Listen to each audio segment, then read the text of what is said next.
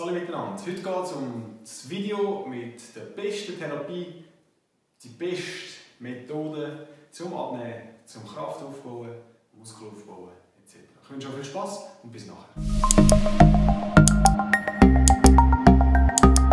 Viele Kunden kommen zu mir und wollen einen Ratschlag, was ist die beste Therapie, was halte ich für die beste Möglichkeit oder die beste Lösung bei dem und dem Problem, für das und das Ziel. Spannend ist aber, dass sie wie eine allgemeingültige Lösung wollen.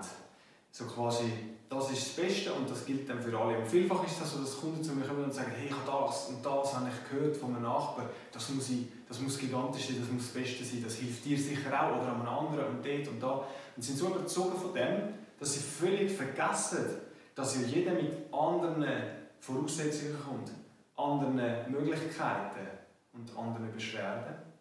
Und obwohl vielleicht das Beschwerdebild ähnlich ist, heisst es noch lange nicht, dass sie das gleiche Ziel haben. Jemand ist vielleicht wichtig, dass er schmerzfrei ist. Jemand anderes sagt, Schmerzen sind mir gleich. Hauptsächlich ich kann wieder laufen. Hauptsächlich ich kann wieder Steg laufen, kann wieder tanzen. Aber es ist mir gleich, wenn ich Schmerzen habe. Es gibt auch Leute, die haben ganz andere Ziele mit ihren Methoden. Eben jemand anderes sagt, ich will einfach Sport machen zum Abnehmen. Jemand anderes sagt, ich will Sport machen, weil ich mich nachher gut fühle.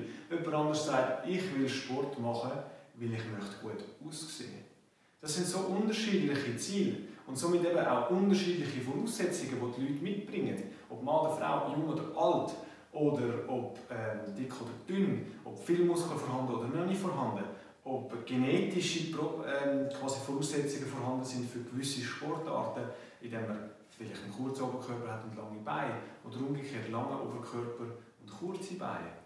Das spielt alles eine Rolle in der Wahl der Methode, vom Sport etc. Egal ob jetzt therapeutisch oder jetzt eben im Trainingsbereich. Man kann nicht grundsätzlich sagen, dass etwas das Beste ist. Weil es gibt nur das Optimalste für eine bestimmte Voraussetzung mit einem bestimmten Ziel.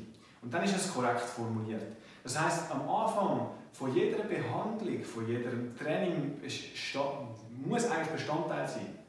Eine Bestandesaufnahme Voraussetzungen, Möglichkeiten, was macht er gern und auf der anderen Seite, was sind seine Ziele? Was ist ihm wichtig? Weil das bestimmt schlussendlich den Weg, die Methode oder die Therapieform oder die Trainingsart. Und nichts anderes. Nicht, weil es gerade ein Hype ist, nicht, weil gerade der Nachbar sagt, das ist fast das Beste, das musst du probieren, sondern die Voraussetzungen und Ziele der entsprechenden Person. An dieser Stelle möchte ich noch ein paar Sachen erwähnen vom IDO-Portal. Ich tue noch ein Video verlinken. Er sagt ganz spannende Sachen, nämlich, das ist das, was ich auch immer wieder kenne, äh, antreffe im Therapiebereich, aber auch im Trainingsbereich. Nämlich, wenn du über eine längere Zeit etwas machst, am Anfang machst du grosse Fortschritte und nachher immer weniger und du musst immer mehr Zeit investieren, um noch ein bisschen besser zu werden. Und er sagt, always be a student. Also immer ein Lernender sein. Immer auf dem Anfängerlevel.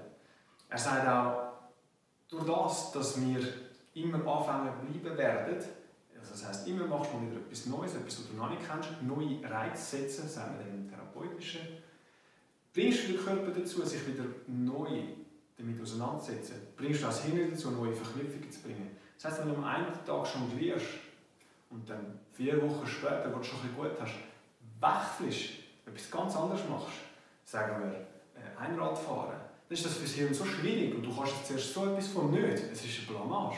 Auf der anderen Seite hast du am Anfang in diesen vier Wochen den meisten Fortschritt, wo du, wo du überhaupt wirst haben. Du wirst ziemlich schnell viel, viel besser.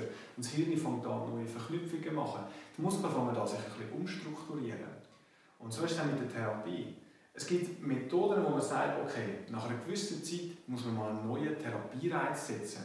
Das heisst, man probiert einen neuen Ansatz aus. Man hat vielleicht klassische Massage gemacht. Jetzt tut man Schröpfen und Fußreflex machen, zum Beispiel. Oder man macht ein aktives Training und geht auf Kraftaufbau, Muskelaufbau und wechselt nachher zu Cardiotraining. Bis man dann wieder zurückgeht zu Krafttraining. Das sind Reize, sich abwechseln, wenn es gleich ist, wo der Körper irgendwann weiß, wie er sich arrangieren kann und anfängt wirklich faul werden. Und bevor das passiert, stimulieren wir wieder neu stimulieren, mit neuen Muskelgruppen, mit neuen Therapiereizen und mit neuen Möglichkeiten zum Lernen und zum Weiterkommen. In diesem Sinne wünsche ich euch ganz einen guten Tag und bis zum nächsten Video.